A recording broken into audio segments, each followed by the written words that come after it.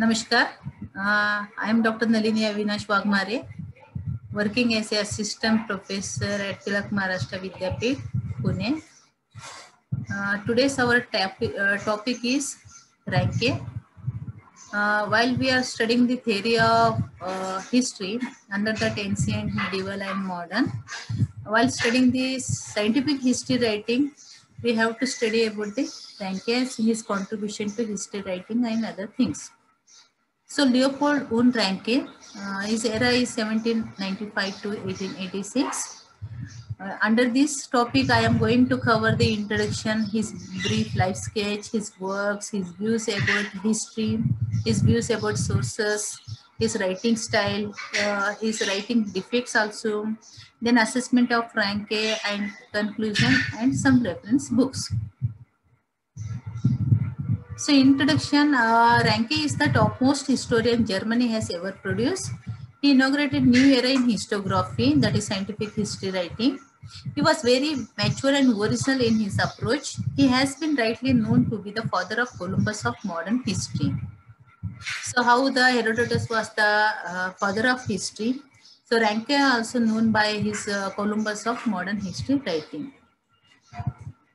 Then his early life, he was born on December 20, 1795 at Wiehe in Thuringia in the Kingdom of Saxony in a well-to-do middle-class family. He had great interest in the study of classic and theology.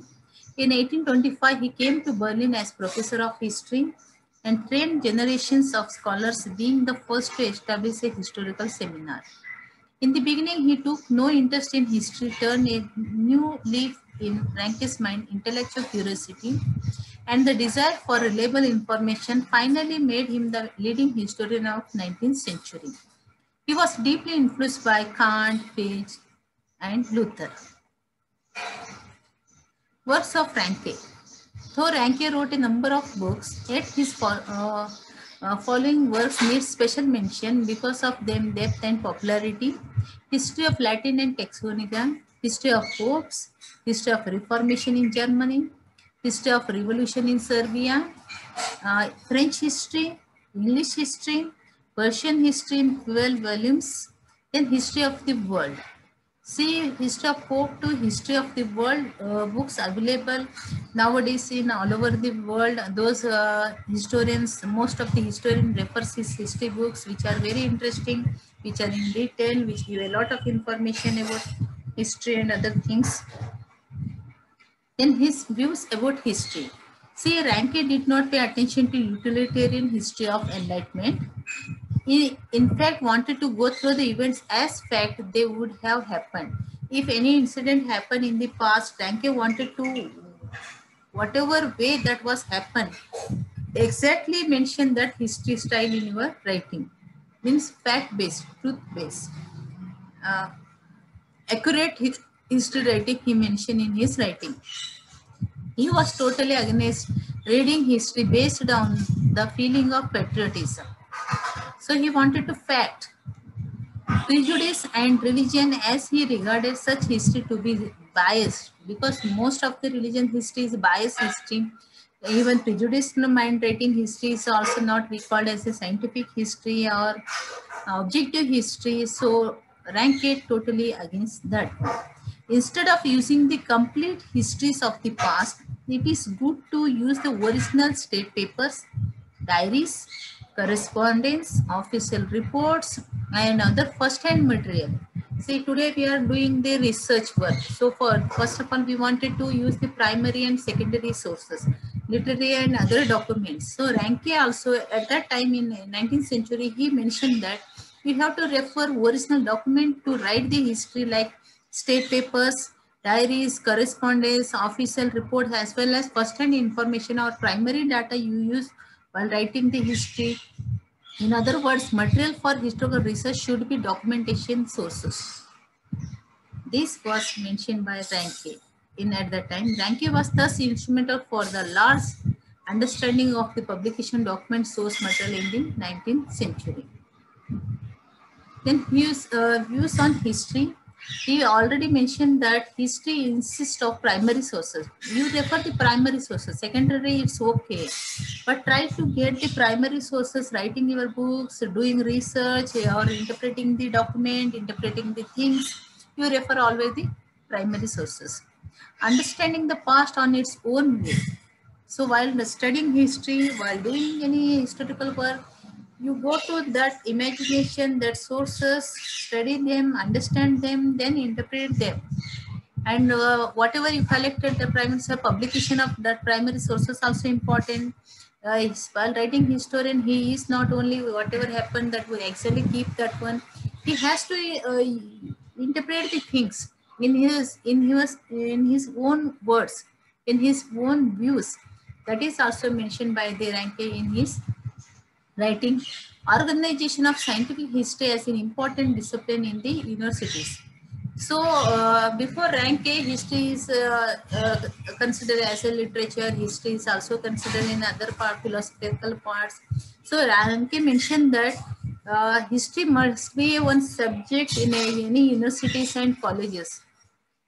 Teach special history subject to students. They have to understand they, it has its own identity, its own uh, study materials, its own way of discipline. So he uh, basically mentioned that the history subject must be introduced in the university colleges level, where the people get the knowledge about past and um, build their future in a bright manner. Even uh, Ranke was the first historian or first person who mentioned that the history seminar must be organized when I, any seminar organized, that time people meet each other. They are ex, exchange their views, their ideas, their thoughts. In a gathering, in a seminar, people exchange views, uh, contacting, uh, contact each other's, uh, their ideas, their things. So it is benefit to them. Even they express their views in front of the many people. So it's a given strength when a paper present in a seminar, the person also uh, get the information by other views, some correction, some defects, and he remove those things and add new things. So Ranke was the first person, he mentioned that a history seminar must be organized. See, because of uh, his ideas at that time, till today also we are all uh, scholars or research scholars or teachers or historians participating in various seminars, workshops where we get the lot of uh, information by experts people, by other uh, scholars and their views. So that's why it is very important and Ranke mentioned in his uh, writing at the time and his views about history. Even Ranke also stated that the history journals must be published. whatever your view, your research, your work, it must be published. It must be open to people. It's correct or wrong. But your research is not limited to your own uh, books and other things. Your research paper published, then the people know that one and they add that one, that time that is benefit to them, even they remove some misunderstanding, misconception of particular thing or idea, some ruler, so maybe king, anything. So history journals must be there and they give importance to uh, people. Publication uh, was very important thing Ranke was thus instrumental for last understanding of the publication of document source material in the 19th century and he has done that work. Then he stressed on political history. It should be said that Ranke's philosophy of history occupies only a marginal core of his entire work. He is essentially a political and diplomatic historian. He belonged to the age of nationalism, that is 19th century. In his political view, Ranke defended the existing system of monarchy against the revolutionary movement. He was against liberalism because it could not set a valid political pattern as each state was a lining organism and individuality and must have its own particular institutional forms. Therefore, he was fundamentally conservative, conservative in spirit. Ranke's concept was based on nation state, hence he paid all his attention to the political history and ignored social, cultural or religious history. So here Ranke uh, says that political history is also important and under that national history is also right as well as that is a well correct and systematic manner. His views about uh, sources of information. In his opinion, most dependable source of information about any event was a happening which occurred in nearest to that event. Means uh, uh, primary source he basically emphasizes. He also believed that letters of the actor of the event were more dependable than chronicles, to which extent a document should be considerable dependable dependent on the standing of the other on the one hand source from which he derived information on the other.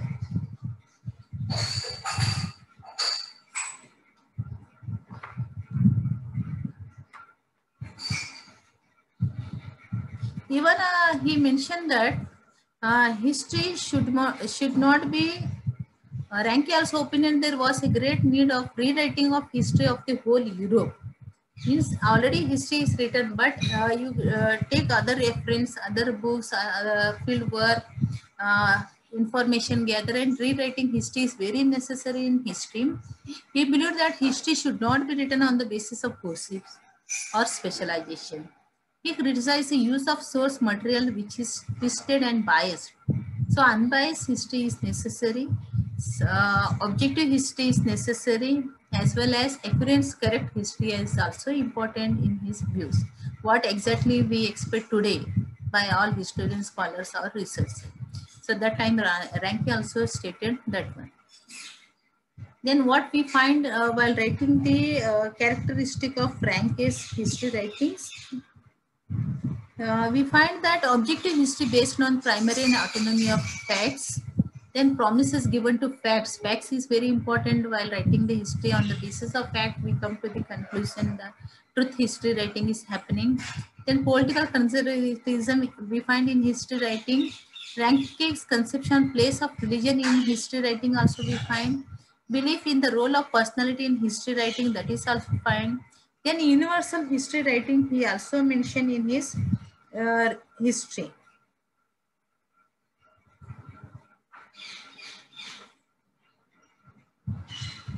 Then which defects we find in Ranke's history writing? So Ranke was an exhaustive writer and wrote about 54 volumes during his lifetime, but some of the scholars consider his approach to be defective.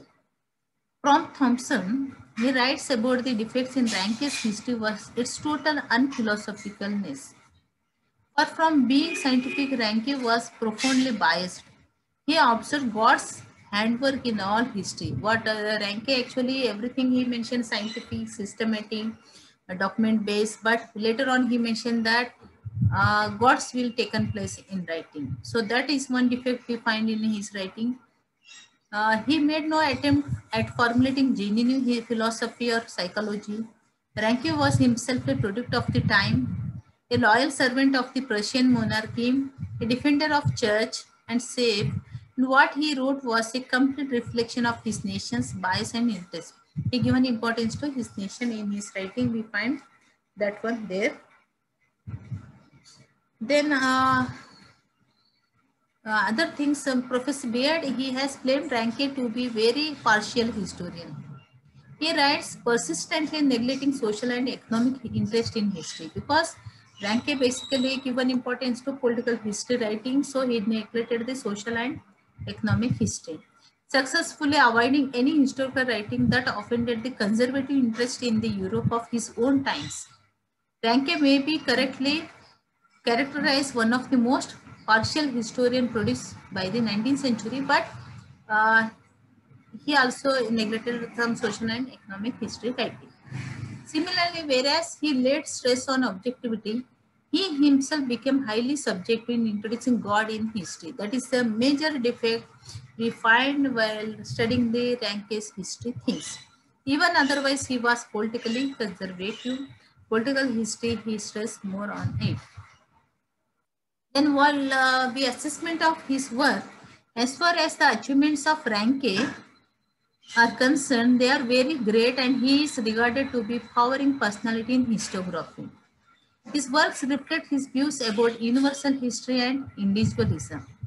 He condemned vehemently the prejudice in writing history and wanted to highlight the facts with the help of all available sources. He did not relish the general histories from the core of his heart and stress on the study of scientific history and misleading. He wanted to uh, first-hand information must be taken, primary sources must be taken, systematic scientific approach has to adopt, and he given importance to those things. That is what we find while assessing the ranking. He had an analytical view and wanted that history should be written critically and criticism of all the available historical sources must be made prior to writing of history. Thus, he was the father of modern critical historiography. What actually happened uh, while we write anything or any history, whatever happened, we have written that one correctly and kept in a book form, a thesis form, and any other article form. But Ranke says that you interpret history and uh, critically think that and uh, produce new things and reconstruct scientific base, objective base, and produce to new generation. So critical st study is very, very necessary to any scholar, any historian, any researcher. So he condemned and criticized general histories in which the reliable and accurate uh, date was ignored by the historians and original source for writing history. But Ranke given more emphasis on original uh, documentations as well as um, uh, scientific study and other things. He believes that history is proof of divine being and that in all history Almighty God dwell and that every history preaches his name. The meditating powers connected with God are what Ranke calls ideas. In his view, he mentioned that God dwells, so God given ideas, so we are writing. So this is one defect of Ranke, but uh, uh, other things well we find he is a good historian. The ideas are the thoughts of God in the world. He continues, they are life-giving or life itself or moral energies. In the inter interaction of these ideas, in their coming and going, lies the great secret of history. He was opinion that man could not understand God's plan and that history revealed the working of God. In his view, each period of history is close to God and has its own unique future. Uh, this one defect we find in Ranke's history, but uh, his ideas, his period, he says that God dwell in the period so that uh, ideas give them, then they are writing history. So that type of Ranke's ideas of history we find here. Anyway, Ranke was one of the uh, great historian. In spite of all defects in the works of Ranke, it cannot be denied that he rendered valuable services to the service of the history.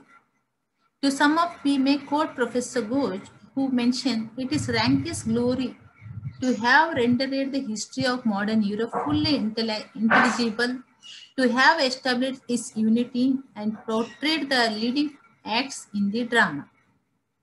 He was beyond comparison the greatest historical writer of modern times, not only because he founded the scientific study of materials and proposed in an unrivaled degree the judicial temper, but because his powers of work and length of life enabled him to produce a large number of first-rate work than any other writer.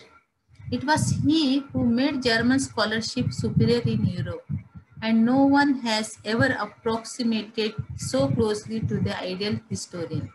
So Ranke was one of the great historians of this 19th century, and uh, uh, he was uh, produced the modern style of history writing, scientific methods he used, and he argued that the use the first-hand information, primary sources, scientific systematic study, interpretation of sources, criticism, this all find shows that Ranke was the Columbus of modern history writing.